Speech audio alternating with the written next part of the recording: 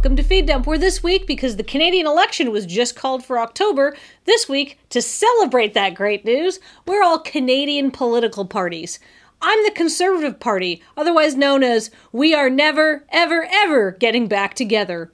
Joining me this week is the Green Party. I have exactly as many seats as they do. And the Communist Party. When there is a Florida man, I am of it. When there is an idiot, I am of low IQ. When there is a smuggled animal, I am not free. Even I didn't get that reference. Good news! Uh oh. That's a filthy lie. No, actual good news. According to a new Harvard medical study, people who ate spicy food three times a week were 14% less likely to die.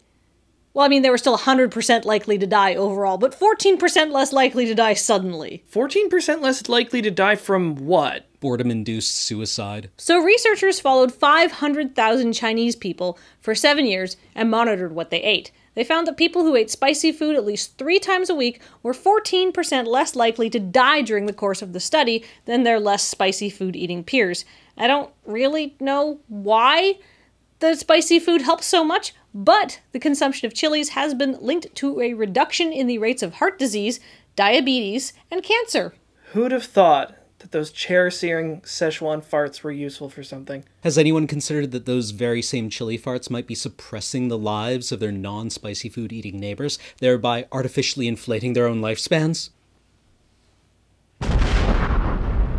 Exactly, that's how they die. But what kind of life do these spicy folk lead? One never far from the toilet, presumably. Well, Cam, do you want to get some curry? What? No, this is a disaster. Statistically, I was only planning to live another 20 years. Now I have to take up smoking or something. I don't think that's how it works. Shut your fire hole, you're getting them on me. From the Department of, no, seriously, we've done this story before.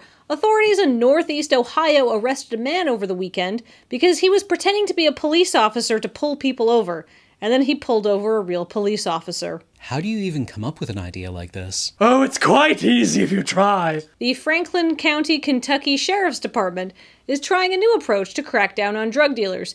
They put up a Facebook ad offering to help people eliminate their competition. What, was exercising the state's monopoly on violence not fun enough for them? Where do ideas like this even come from? Guilty. Oh, come on. Evil's supposed to be at least interesting. This is some wily coyote tier bullshit right here. Yes, yes, and then you blat them over the head with an enormous wooden mallet. It's foolproof. Wooden mallet, also a mine resistant armored vehicle. That one's actually a repeating tear gas launcher. Yeah, sure, this is super cute on Facebook, but you know where it's going to be even cuter? When a neighbor uses this to get the police to fire a grenade into the bedroom of somebody who used their leaf blower at 5 a.m. on a Sunday. I guess it would be nice if there was at least a little bit more formality in using the local police force as your personal hit squad. Imagine, if you will, a county's worth of shitty 12 year olds logging into their shitty mother's shitty Facebook accounts right now. Put me in the friend zone, I'll put you in the danger zone. Like, we're joking about this, but actually institutionalizing swatting people through Facebook is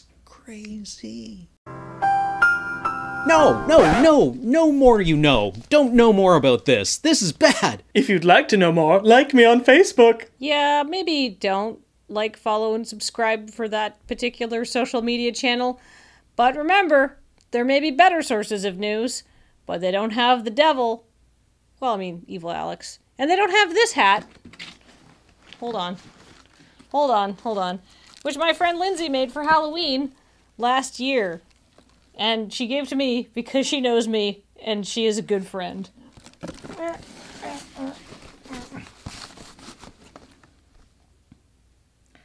I'm an anglerfish and I'm okay. I swim all day and I swim all night. And male anglerfish attach themselves to me because they're just floating sea testicles.